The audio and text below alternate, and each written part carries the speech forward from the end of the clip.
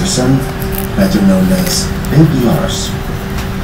was born in Tulsa,